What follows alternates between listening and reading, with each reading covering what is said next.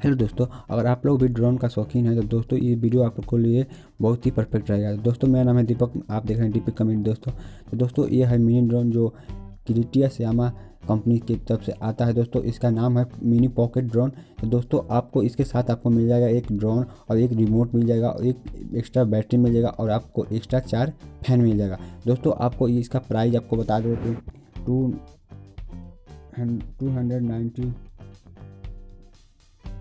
two, नहीं sorry दोस्तों, दो हज़ार नौ सौ निन्यानवे रुपया है दोस्तों।